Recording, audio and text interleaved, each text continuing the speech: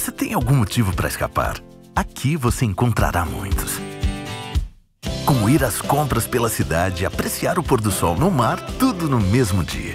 Ou percorrer a floresta mais ao extremo sul do mundo e se surpreender com verdadeiros monumentos naturais em questão de horas. Se preferir, você pode desfrutar de sabores e aromas únicos a qualquer momento. Conheça o Chile, um lugar onde em poucos dias se vive muito. O Chile é natureza aberta.